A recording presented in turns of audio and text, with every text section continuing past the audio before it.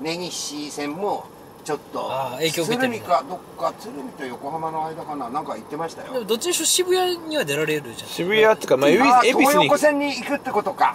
恵比寿に出たいんですよ。行っちゃいますのっていや えいくらぐらいかかります？東京行きたいなと思いったくらぐらいかかります？大体。東京で行きたいなと思ったんだけど。どのくらいかかります？わからない。いや横浜にしましょう分からないで一番怖いごめんなさい横浜にしましょう。私東京ほとんど。じゃあじゃあじゃあじゃあそうねじゃう。ですね横浜じゃあ一回横浜でお願いします横浜で。あのね今日ね武蔵小杉おあこっちいないから向こう行ってモブでやってたの。最初川崎の方で、はい。嫌なんだけど、は川崎の方嫌なんだけど。あの我々の仕事ってのは川崎横浜横須賀三浦どこでやってもいいんですよ本来は、はい。タクシーセンターでならほらこの営業権はい。ところが多摩川越えてすぐ元東京で勤めてたから3年前まで、はい。ガス橋渡ったとこで降ろしたら俺の荷物までさ持ってっちゃったねマンションの方に。え？で俺ほら会計してそこのベビーカーも送って終わってお母さんなんか自分の荷物じゃない俺の大事なバッグを持ってってたまたま俺沼部でうーんってあの休憩してたの、はい。あ東京久しぶりだなって。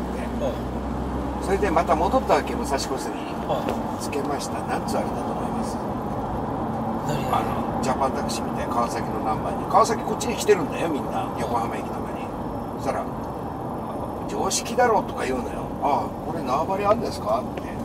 これ駅にちらっと1台目に並んだら何つあれだと思います？横浜ここにな来ちゃいけねえんだよ。こうだよ。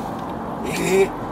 そんなのならなかった東戸塚もある。のそうどっちかの駅にかあの地元以外ダメなの。人はいっぱいいるんだけど待つ人大変だよね。地元のタクシー以外そこはいよ意地悪されるんだって。へえ。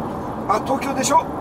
東京です東京。うわ東京はいいわよ 東京人が好き。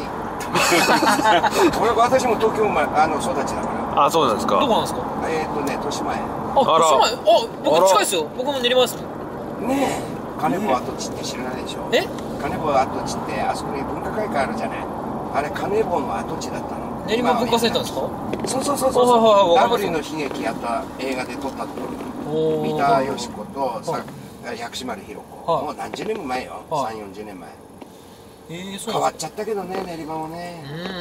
う、ん。なんか立派ななんだっけ区役所できちゃったりね。ね。今じゃ何？